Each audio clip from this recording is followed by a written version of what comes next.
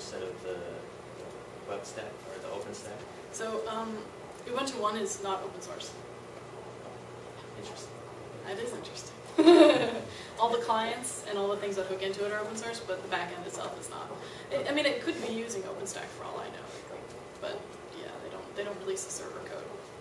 But And I think that's also it's more like a Dropbox sort of thing than like a you can run anything on this cloud kind of thing. Really? Yeah, good question. I asked it too.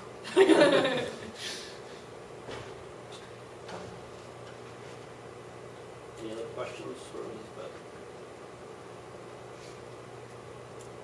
I got a couple of questions. yes. Uh, This has to do more with uh, the nature of work. So if you were to compare your experience of working with Ubuntu through the community versus HP and OpenStack as a job, what are some of the things that are common and what are some of the things that are different in your experience? Should I repeat it for the camera? Sure, yes, please. So, my, my experience sort of working with, with Ubuntu in the community is opposed to working for HP and OpenStack in a company. Um, in some ways, I, I prefer working with Ubuntu because I have complete autonomy. Like I could just stop working for a week and there's no one. I mean, people will care, but like I can. Obviously, with a job, you can't really do that. Um, and I, I can I also have more freedom as to what I want to work on. Um, on OpenStack, I'm pretty much on the infrastructure team, so I'm working on infrastructure related and QA sort of stuff. But in Ubuntu, like I'm on the community council, and the last cycle, the docs team ran into some trouble. Um, just like the translation team, the lead guy sort of just like he quit, and so no one knew how to release docs. We didn't know how to upload the packages. We didn't know any of it. So fortunately, he hung around long enough to teach us things. But in, but I just shifted my effort from other projects I was working on to working on that. Um, and I was able to do that. Like I just I can do whatever I want in Ubuntu. Like I can choose. Um, whereas OpenStack I have more restrictions. Um, but there's also something to be said for working in a community that's mixed, volunteer, and paid, and working in a community where that where most of the people are paid. Um, because there have been situations where it feels like the paid contributors somewhat take advantage of the volunteers, or you can get into strange situations where you don't feel like you're being properly compensated or properly appreciated, or you know, they assume you're going to be there, you're taken for granted, and other things. Um, and that can feel not so nice, and that's a very demotivating thing. I've seen it happen a few times in Ubuntu where community members, um, especially when they're working on something and they're developing something, and then Canonical comes by and says, actually, we're getting rid of this thing and we're going to go in this direction instead. Um, that sort of thing won't happen in OpenStack because all of the decisions are made in public and there's no there's no one company making decisions. Um, whereas in, in, in Ubuntu, sometimes there are decisions that come down from Canonical that no one else really has control of. And that can be very unfortunate. They try not to do it, but they, they keep doing it. um, and so mostly I, I try to work on things that don't really, they don't, they're, they're not going to impact me in my doc work or my newsletter or other like localized California things. Um, so I have to be somewhat strategic about what I work on even in Ubuntu um, because some things really, it's just all paid developers and everything's developed inside Canonical. Um, they've tried to do a lot of things like having Google Hangouts and more public IRC chats. Um, but what happens when you have one company controlling interest in a project is they like accidentally have private meetings. Like they're at the water cooler and they're chatting about something and all of a sudden they have a new idea for something. And if you're part of the community, you're not part of that. Um, so there's a fair amount of that that happens in the Ubuntu community. Even when they try not to do things in secret, sometimes they accidentally do things in secret. And in OpenStack, that's not really possible. Um, in order to push a feature through, um, you need community involvement and community consensus, and you need to be able to work through that blueprint. Like if you came to OpenStack and dumped, you know, a 4,000 line patch, like that would never get through. Everyone would, there would be riots, power outages and things. that would not happen. There has to be much more consensus. So it's, it's funny that, that working in a project with a lot of companies is more transparent than working in a project that has more volunteers in it. it's interesting for me to learn. Um, in your opinion, how low is the bar, do you think, is for people in communities to join open source projects? Um, so it how, how high is the bar? Like it depends on, on the project. Um, so Like, The lowest one, you think? I mean, the lowest one is like writing summaries in my newsletter. If you know how to read an article and write a two-sentence summary, you can be an open source contributor. And someone who writes one summary in that newsletter can add their name to the credits. I mean, honestly, anyone can just open the Google Doc and add their name to the credits and not do anything because I don't track anonymous edits. Um, and then you can have your, new, your name in the newsletter, and then you'd have it published to the Ubuntu Planet, and then put out on all the on all resources, and all of a sudden name's on something. And that's for writing, you know, two sentences of a summary. Um, so it can be that simple, or obviously it can be, you know, really hard, doing big development stuff. Um, and depending on the project, it can be hard to find this super user, en- like lower, um, entry level stuff. Um, but it's it's definitely around, especially I mean, because open source projects, people think you always need to be a coder and really super geeky and all this other stuff. So that means we have like a serious hole of creative people. Like if you saw websites for open source projects 10 years ago, like they burn your eyes. They look like my slides. they're really, really bad and they're covered in text and they're not pretty because if open source just really lacked people like with artistic talent and design and other things. Um, because no, none of those types of people were coming into open source. So we're getting better. Websites look better than my slides. um, interfaces are getting much better. Ubuntu looks pretty slick these days, um, whereas 10 years ago was, I mean, it looked like Windows 3.1 or something. It was from the past. Um, so we, uh, open source projects have been opening their eyes to people of diverse talents and people who aren't hugely technical. We've been finding places to put them, put them, get, get them to do work. But it, it can be hard to get into some projects, easier to get into others. It has to be a conscious effort from the project to make it easy to contribute. Yeah. You said, just curious because you said 4,000 lines of code. I was just wondering what your average you would say when you submit something for review. What's your, your, your average? So we sort of have like a, a social community limit. Like if your patch is more than 400 lines, you're doing something way wrong. But I'd say like most patches are like 20 lines. Like they're not very big. They're usually incremental changes that are working towards a goal.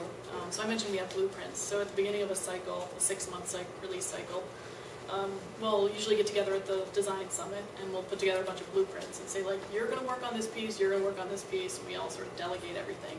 And then sort of as the release goes, we start adding flags to different things, we start adding new features, and it all sort of happens pretty slowly in incremental changes. So a patch really shouldn't be very big.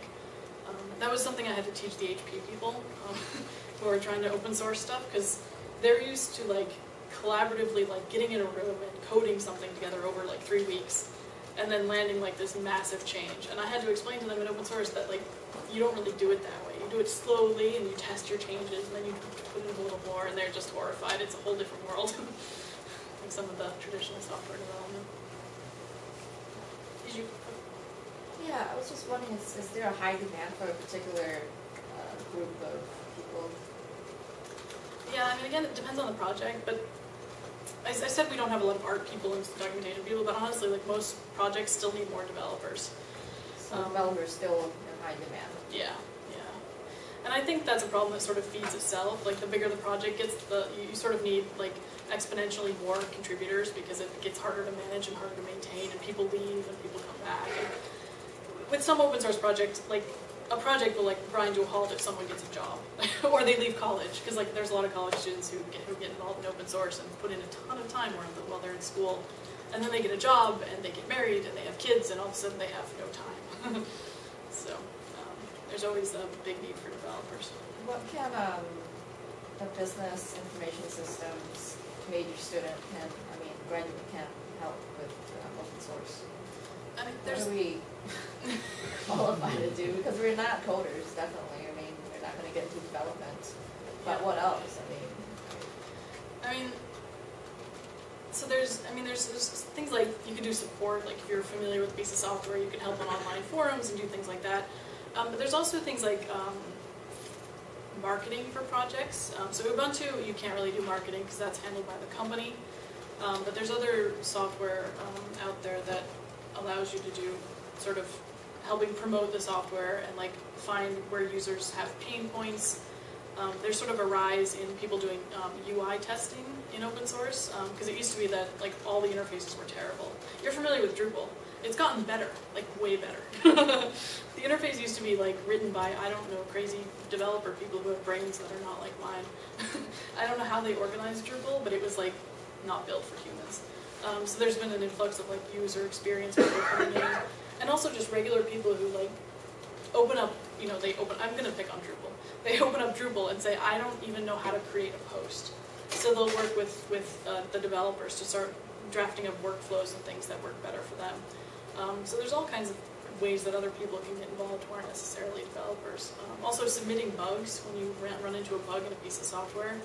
Um, I mean, as, as someone who's done some development, like I, I had a very strict testing regime with my software, and so I'd test all the things that I cared about, and everything else, like, it sort of got ignored. So if people weren't submitting bugs, I wouldn't even know about software problems. So I couldn't even fix them because I didn't know about them.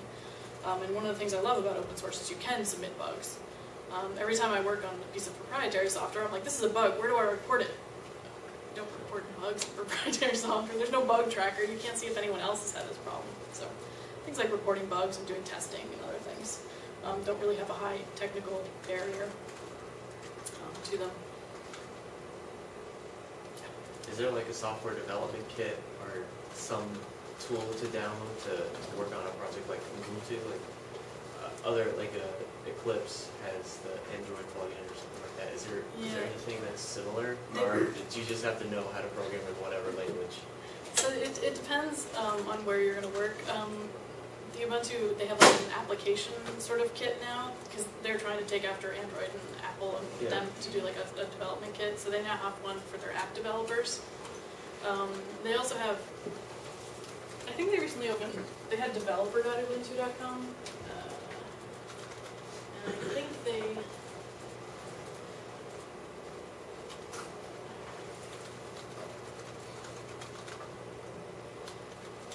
So this one, um, they have ways, you, I don't know what they have like downloadable as far as like Eclipse plugins and things, but I think they have a few things like that.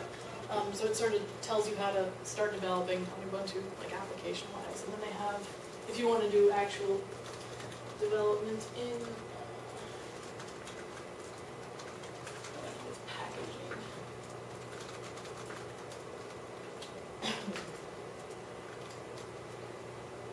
Yes, um, so they, they put together this website that, um, if it will ever load, um, uh, that has a lot of tools for if you wanna start, um, taking, like, packaging is when you take like Firefox and then put it in a format that can run and install on Ubuntu. I think their site is done. what, what, what would you need to know, like, if you wanted to do modify Ubuntu itself, but, Mm-hmm. like, you said, I can make a better start button or home folder or whatever, looking at Ubuntu, what, what do you have to do to do that? Yeah, so since it's it's so modular, like there's different like if you want to do a different start thing in Firefox, it's going to be different than if you want to do it on like the desktop. Um, it's kinds of. Oh, oh, there it goes. That's actually the same website. Oh, it's different, slightly. They have one just for the packaging, I guess. Um, so it, yeah, it depends on on the project, but you might need. Um, First, you need to figure out what, what software you're modifying. So Ubuntu is built off of um, the desktop UI, which is called Unity. So you may need to look into the Unity developer documentation to work on that. If you're changing something in Firefox, you have to look in Firefox, or LibreOffice, you have to look in LibreOffice. Um, and then, also, they're all written in different languages. So there's like C and C++ and Python um, that things are written in. Um, so it really depends on what you want to change, like what you. And I mean, like I learned a lot of this. Like when I my, my first desktop um, environment that I used on Linux was called Enlightenment, and I had this little tiny like widget that was doing something really annoying to me. Like it was something I think it was showing tooltips or something, and I hate tooltips.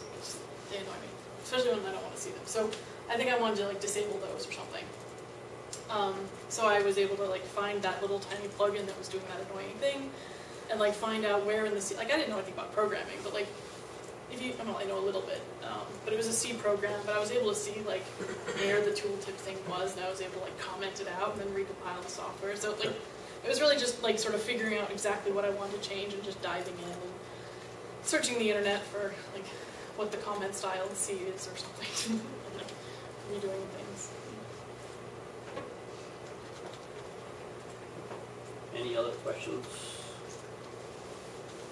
Do you have any questions for us? don't think so.